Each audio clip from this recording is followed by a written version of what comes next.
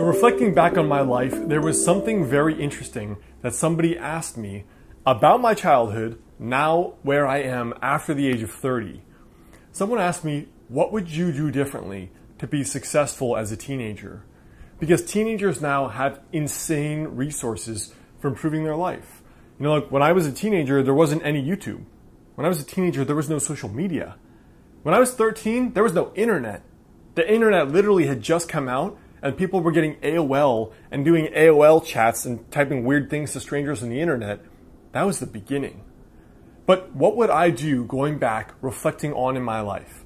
Well, in this video, I want to share three of the biggest things I would do differently. And if you're a teenager or your early teens, your 20s, the things I would really, really recommend to do differently because they could be huge life mistakes.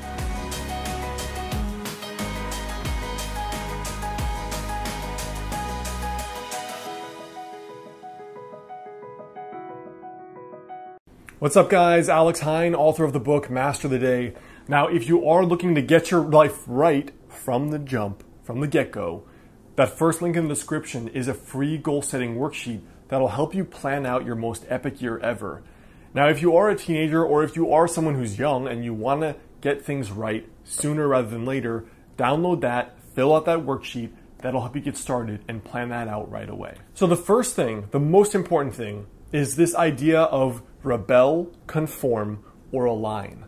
Now, I'm going to shoot a whole video on this coming pretty soon, but there's this idea in school where when people don't know what to do in life, they do one of two things typically. Most people conform.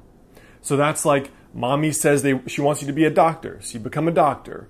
The kids in school want you to dress a certain way to fit in, so you dress a certain way to fit in.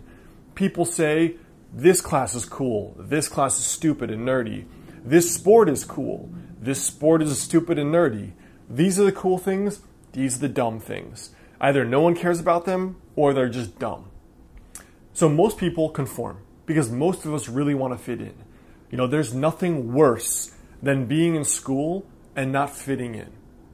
That's what most of us want. And in life, as you get older, some people still try to do the same thing. You know, high school is a little microcosm of life where people who are popular on some level are the people people want to be around. People want to emulate. People want to see those people more. But in the real world, you see a very similar phenomenon, which is that the keeping up with the Joneses phenomenon. And that is the exact same manifestation of the popular and the cool. You don't want to be in a town where everyone has nice green yards and your yard looks like crap, like all your animals just took a pee on it and now it's all rotten and brown. You want it to be green because otherwise it sticks out like a sore thumb. You don't want to be the person that's driving like a Honda Accord where everybody's driving Audis, Mercedes, and BMWs, right? Because you want to fit in with the Joneses and not look like you're not making money or something. So, this idea of wanting to fit in, conforming, wanting to just not ruffle too many feathers, that is the default state that most human beings live in, and most kids in school will as well.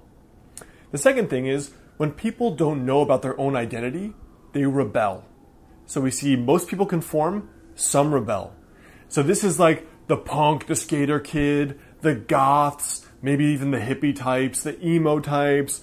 All these kids are just like, screw the establishment. I don't want to be doing that.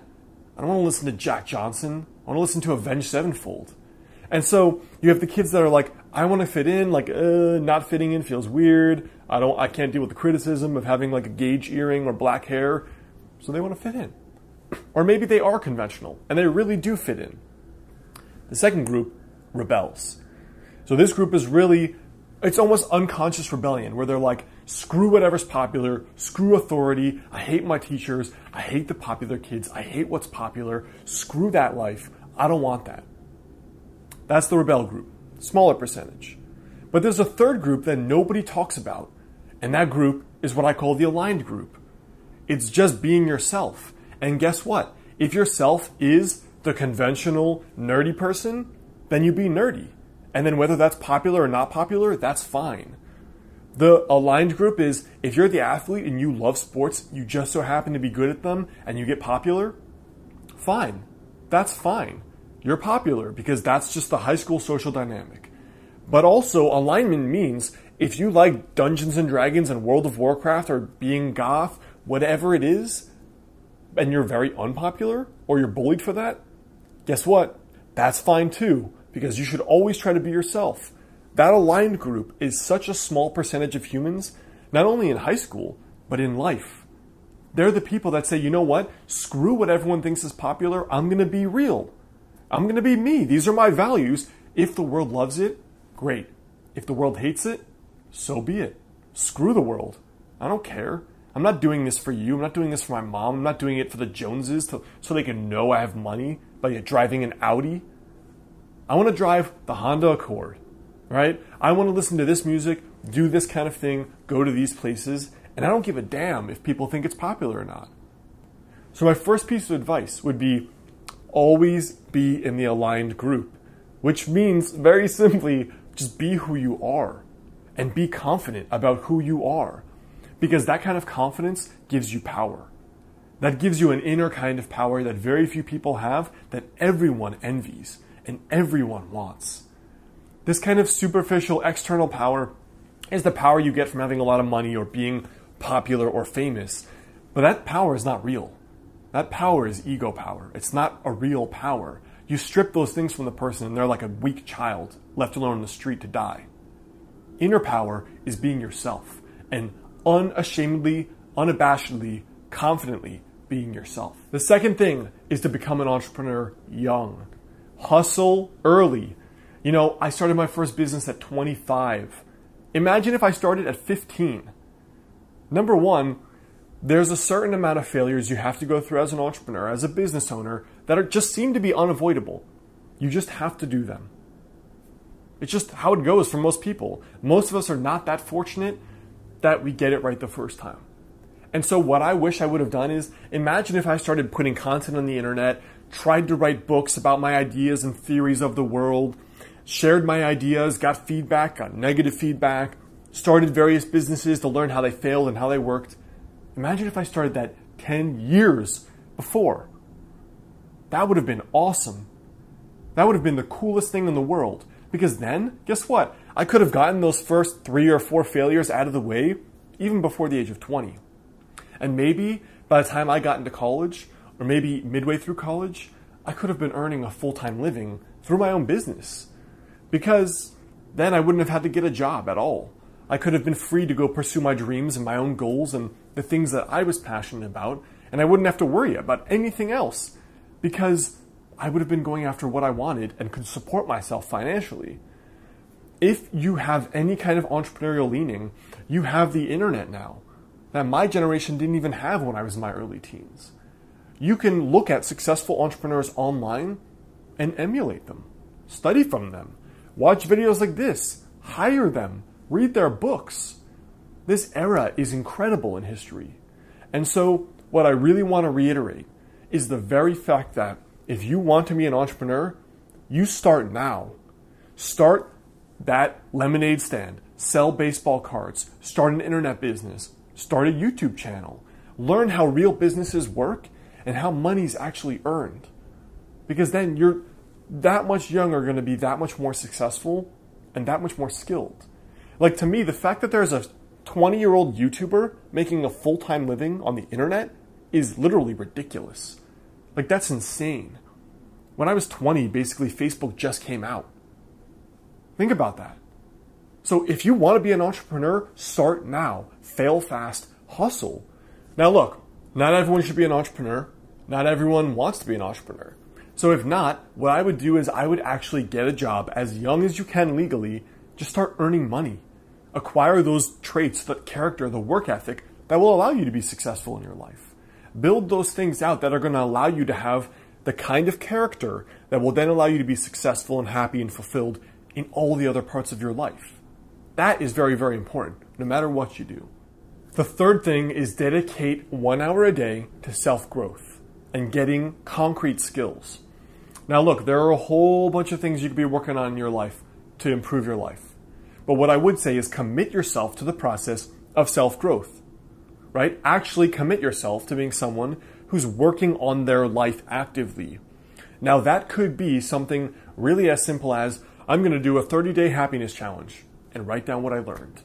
I'm going to start getting good at judo, at card playing, at a video game, at a sport. Get good at something. So, the most underrated skill in the world is actually being good at something, the skill of getting good.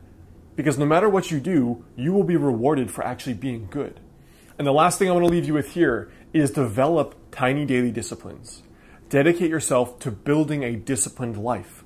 So, it doesn't necessarily mean getting up at 5 a.m., but what it means is pick a goal, stick with it. It's not easy, right? That's why most people do not stick with their goals. Set a goal and stick with it. Dedicate 30 to 60 minutes a day to self growth material and stick with it five days a week. Do that, and you're building the foundation of an exceptional life. You're building the foundation of success because the thing that precludes any success is your character. Your character comes before any success you can possibly achieve. And so if you start when you're just a teenager at being more disciplined, trying out those things, failing early, studying and acquiring valuable skills, video editing, writing, whatever it is, actually have something you can show for your skills. And by the time you get into your 20s, you're going to be such a valuable person in the marketplace. You'll have whatever success it is you're looking to have. But above all, don't forget the biggest thing that most people do not do in their teens is begin living your life deliberately. That's it. Actually have a direction for your life. Don't just get home and watch TV for three hours. Get home and think, what is the performance goal I want to reach in all these other parts of my life? What is the performance goal? Is that goal I want to study and get fit and get a girlfriend and have a lot of friends and get good at judo? Well, then dedicate your time consciously towards that. Don't coast and let your, your teens just go away and then you're 20 and you graduated high school and you're in college, but you haven't done much else. Deliberately use your time and your life now because that trait, that habit, will carry on for the rest of your life. Now, again, you guys, if you want, the best way to begin is, of course, with setting goals. The younger you can do it, the better. The first link in the description is my free goal setting worksheet that'll help you get started with setting your goals. You're also going to get an email every few days on how to use goal setting to completely change your life. So check out that first link in the description and then come on over. Check out my last two videos there and there.